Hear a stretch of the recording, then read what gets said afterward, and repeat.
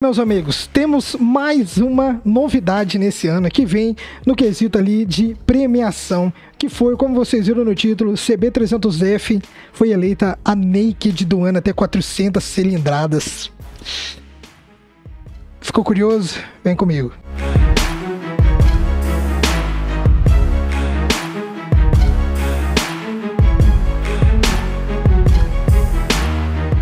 Fala pessoal, sejam muito bem-vindos a mais um vídeo desse canal. Meu nome é Marlon, gente. É o seguinte, é o seguinte. Como vocês sabem, vira e mexe, eu trago cortes das lives que eu faço aqui de segunda a sexta-feira, tá? Das 8h30 até 10h30 da noite. Então, o nosso encontro aqui é todo dia de segunda a sexta-feira, beleza? Então, eu convido você aqui para que venha participar das nossas lives, porque são lives, ó, diferentes do que você já viu aqui no YouTube, beleza? Bom, como vocês viram no título, CB300F ganhou o prêmio de Naked do ano até 400 cilindradas, meus padawan. 400, não liga pra minha espinha não, hein? Olha lá. Mas é isso mesmo, tá? CB300F ganhou até 400 cilindradas e algumas pessoas me mandaram o link para saber a minha opinião a respeito disso e eu fiz esse react em live. Só que na live eu tava um pouco, fiquei um pouco alterado porque eu não concordei um pouco com as coisas. Depois conversando um pouco mais com os membros aqui do canal, eu resolvi trazer um vídeo com mais calma, explicando ponto a ponto para vocês e vocês também vão entender um pouco da minha frustração quando eu vi isso daqui. Lembrando que cada premiação dessa é de derivada de, de revista para revista. Então nem toda revista vai ter a mesma linha de pensamento que o próprio consumidor, beleza? A gente entrar na temática do vídeo, né, que é sobre a CB300 ter ganhado o prêmio de Naked até 400 cilindradas como a Naked do ano, é, eu quero deixar claro que as minhas críticas até agora foram única e exclusivamente a precificação da Honda. Eu nunca neguei que CB300 Saara eram motos boas. Eu sempre falei que o preço não condizia, né? Não condiz, não condizia é bom, né? Não condiz com os valores, né? Da, com a ficha técnica que atrelada aos valores que são cobrados dessa moto, né? Afinal de contas, CB300 em vários lugares mais de 30 mil reais e Saara já chegou para mim é, relatos de em alguns lugares do Brasil passando até de 40 mil reais. Então, são valores bem altos para uma linha de moto que não, é, não deveria custar tanto assim, mas são valores muito exacerbados aqui no nosso Brasil. E eu vou mostrar para vocês agora algo inédito que eu, sinceramente, eu não tinha visto nada igual aqui no nosso mercado brasileiro. Foi uma coisa assim que quando me mandaram eu fiquei um pouco surpreso. Vem comigo aqui, ó. Bom, como vocês estão vendo, estamos aqui no site Terra, tá? Na, nessa plataforma. E aqui a gente pode ver, né, que a Bajaj Dominar 400, a Elite as Trail no moto de ouro, tá? Nós sabemos, né, que a Bajaj de Trail, ela não tem nada, né? E eu sempre disse para vocês que, para mim, para mim, a Bajaj nunca foi é, nenhuma naked, né? Naked, naked mesmo, e nenhuma trail. Para mim, ela era mais uma crossover, que é um intermédio ali das duas, tá? Mas entre uma naked e uma trail, ela é muito mais puxada para naked do que uma trail, né? Por si só. Mas colocaram a dominar é, 400 na categoria ali, né, de, de, de trail. Então, a Dominar 400 ganhou no site UOL. Só que o site UOL tem uma particularidade muito bacana. E a particularidade dessa revista em questão é que, olha só que interessante, tá? O, a, no estilo moto de ouro, tradicional premiação promovida por motociclismo, que conta com o voto dos leitores para eleger as melhores marcas de motocicleta do país. Isso mesmo, o prêmio usa a opinião popular como um importante termo termômetro para poder reconhecer as motos e fabricantes de maior destaque no país. Então essa revista aqui, por mais que eles tenham colocado a Dominar 400 numa categoria que, assim, ao meu ver, não tem nada a ver, mas por estar lá, é, a escolha da galera é praticamente unânime, né? É praticamente unânime que a Dominar 400 foi a moto é, mais bem votada nessa categoria Trail, por mais que ela não pertencer numa categoria Trail. E por que, que eu tô mostrando isso aqui para vocês? Isso aqui mostra pra gente que, na visão popular, a Dominar 400 é uma moto de destaque aqui no Brasil, né? Pode até parecer que eu puxo muito sardinha para Bajaj, mas Tá aí, resultado é, das votações tá aí, não sou o único que fala isso, tá? E vocês sabem que a Dominar 400 é uma moto divisora de águas aqui no Brasil, temos é, nenhuma moto que chega perto desse nível de tecnologia. Então, é, eu tô esclareci isso aqui agora, né? Quando tem a visão popular, a história muda, beleza, Padrão? Então agora a gente vai voltar na revista Duas Rodas, onde que saiu essa matéria. Vem comigo aqui agora. Como vocês estão vendo aqui, já estamos né, na revista Duas Rodas, aonde né, a moto do ano é, foi eleita através dessa revista aqui. A gente pode ver né, que tem a, a, Penny Gale, né, que é a Ducati, e é, várias motos aqui no cartaz aqui da, da, dessa revista em questão. E a festa de divulgação das vencedoras, sob o comando do Felipe Tito, Leandro Melo e Márcio Saldanha, contou com a presença de empresários, executivos e colaboradores das principais marcas do Brasil, tá? E eles avaliaram 30 motos, só que não especificaram quais são essas 30 motos que avaliaram aqui. E lançadas entre 22 de outubro e novembro de 2023, tá? Que foram avaliadas por jornalistas especializados e influenciadores. Fechou? Então aqui você pode ver que não é, aparentemente, né, não era qualquer pessoa que estava lá. Afinal de contas, são profissionais do meio, né, que avaliaram todo, é, todo esse aparato de moto que estava lá.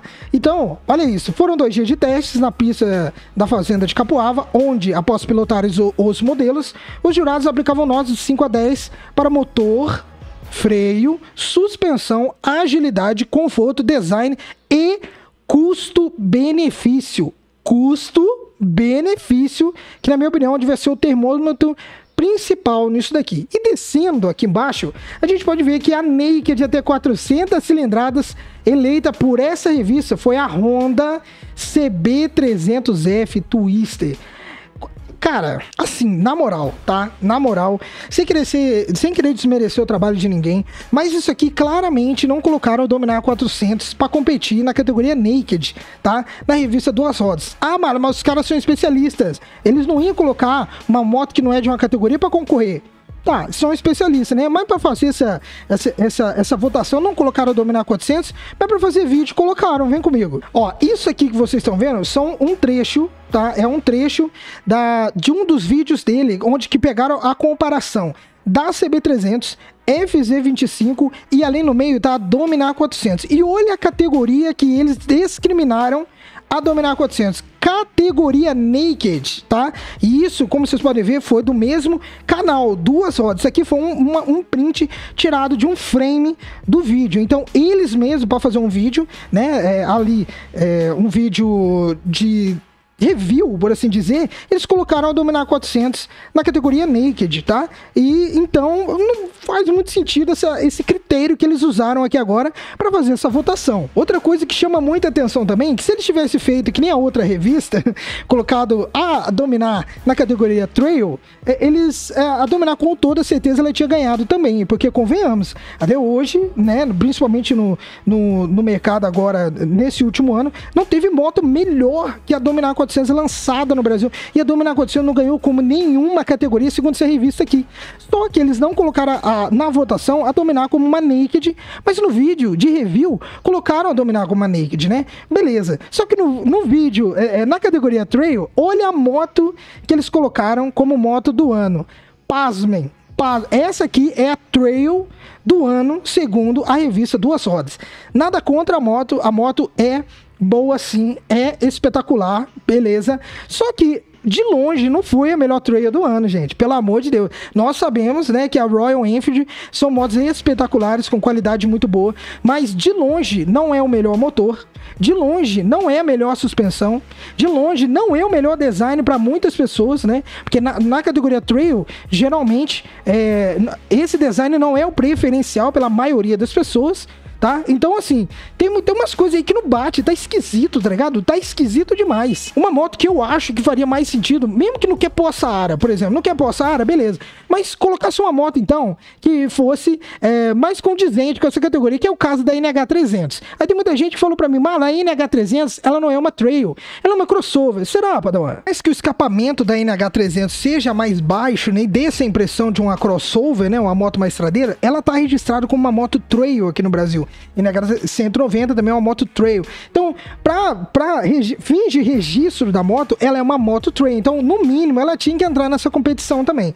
Lógico que nós não sabemos quais são as motos que entraram na, na competição, quais foram os critérios né, que eles usaram para votar, mas como vocês viram, não são é, qualquer pessoa, né? São profissionais gabaritados do meio que estão lá. Ou é de duas ou nós que não sabe de nada entendeu? Ou a gente que não sabe de nada, ou eles que sabem demais, entendeu? Porque como é que coloca uma Scrum 411 como trail do ano. Eu não, eu não, entendo, tá? Nada contra, cada um tem o seu modo de pensamento, mas claramente tinha motos melhores que foram lançadas nesse espaço de tempo, tá? Para quem se pergunta, esse critério levou as motos que foram lançadas de novembro até dezembro, não, de dezembro de 2022 até novembro de 2023. Então, nesse espaço de tempo, teve motos melhores que a Scram, né, lançadas aqui no Brasil. Afinal de contas, a Scram nem teve esse boom todo de vendas, né? Para muitas pessoas foi um flop lascado a Scrum 411. Então, assim, eleger Scrum como trail do ano, sei lá, velho, tá meio esquisito, né? Outra coisa também que tá esquisita é a CB300 também, que ficou meio meio, sei lá, eu não tô querendo dizer nada, vocês tirem a conclusão, mas eu, eu tinha que trazer esse vídeo aqui mais reflexivo para vocês, porque, sei lá, velho, eu quando eu olho isso daqui e olho isso daqui, eu não, sei lá, eu, eu fico meio eu fico meio perplexo, porque para fazer vídeo comparativo, colocaram o Dominar 400 como naked. Do, uh, naked, né? Categoria naked. Aí, para fazer uma votação, os caras colocam a CB300 como naked até 400 cilindradas. Moto do ano, meu Deus do céu, isso aqui, é, isso aqui tá esquisito. Mas nem tudo, né, para dominar 400 ficou ruim, né? Afinal de contas, para não ficar tão na cara assim, eu acho que foram lá e deram ela como destaque do ano. É lógico que essa moto era destaque do ano, né? Foi o destaque do ano, mas no mínimo tinha que ser sido a Naked do ano, porque claramente essa moto, muito longe de ser uma trail, mas é o mais próximo de uma naked que temos. E como que essa moto ficou atrás dessa moto? Explica para mim. Eu acho que a CB300 só ganha da Dominar 400 em questão de mobilidade, por ser uma moto mais leve. De resto, a, a Dominar 400 Explica para mim, gente. Comenta aí para nós, comenta, tá? Comenta aí que eu vou ler eh, todos os comentários de vocês. Eu leio, tá? Eu sei que eu tô atrasado nas respostas de comentário, mas eu leio, eu vou começar de novo a responder porque essa última semana foi muito corrida para mim, mas eu vou responder todo mundo. Comenta aí o que, que vocês acham disso por obsequio, tá? Que eu vou dar um coraçãozinho e vou responder vocês, beleza? Eu, assim, é que nem eu disse pra vocês, eu não quero insinuar nada aqui, mas que tá no mínimo esquisito tá no mínimo esquisito isso aqui. Vocês têm que concordar comigo, né? Tá no mínimo esquisito. Então, é, eu queria também pedir desculpa às pessoas na live que, que são rondeiro, tá? Que tem uma CB300. Em nenhum momento eu falei que a CB300 é uma moto ruim, tá? É, você sabe que eu dou minha opinião é, baseada no que eu acredito isento de sentimento. Eu sei que tem muita pessoa que tem uma moto uh, da Honda, principalmente uma CB300. Eu respeito a opinião de vocês. Eu sei que muitas pessoas ficaram tristes com o que eu falei na live, né? Mas eu fiquei indignado quando eu vi isso aqui, cara. Eu não falei nada demais, tá? Só que eu, eu sei que algumas pessoas ficaram tristes comigo, principalmente, né? É, pessoas que já me acompanham e são rondeiros, tá? Isso é normal. Peço desculpa mais uma vez. Mas é isso, gente. Eu, eu, vocês sabem que eu falo o que eu acredito, tá? E acredito que muitas pessoas se achegam ao meu trabalho, né? Chegam e ficam no canal porque é, acreditam no que eu falo.